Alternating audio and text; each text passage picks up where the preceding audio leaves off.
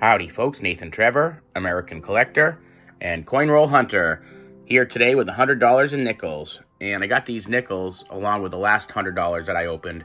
And they weren't great, but I did find one silver war nickel, so it's always nice finding silver. And then I got these pennies at the same time, and I may open them today, but they'll be a separate video. So, nickel number 10, season 11, let's go.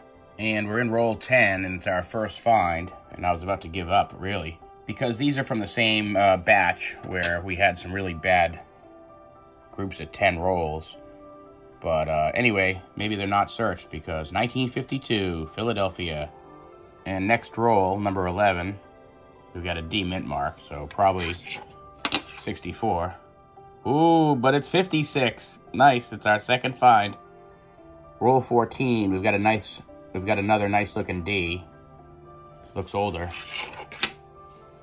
Ooh, 1947D. Super cool. Third find, 14th roll. Roll 19, and we've got an awesome find. 20 cents. And I don't think I know this one.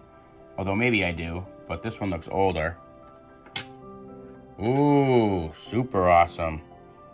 1986, Singapore, 20 cents. And I think it's the first one I've ever found. Singapore. And here in roll 20, We've got a 1948.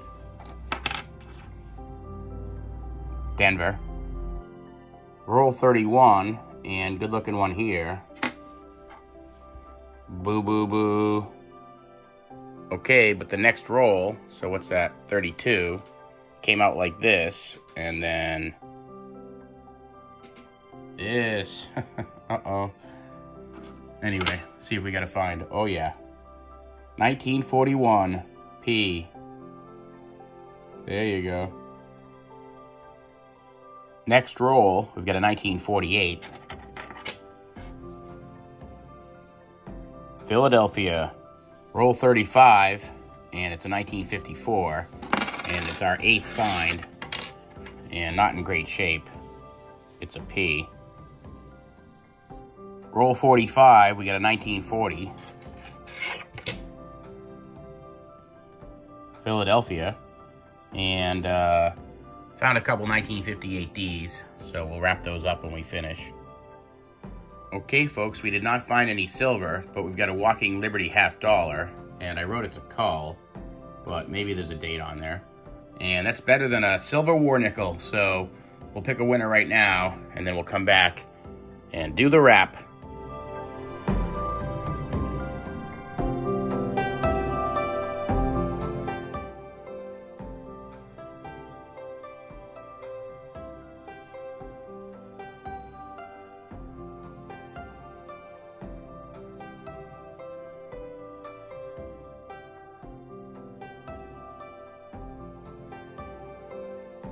Okay, and somehow this $100 was worse than the last $100 from the same place, but not for the Jericho 1123, because they got silver, and it's good to have at least one winner.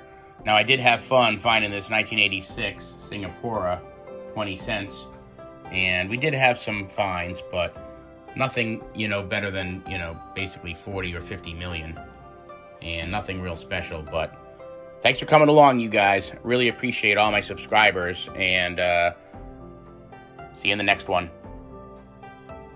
Bye.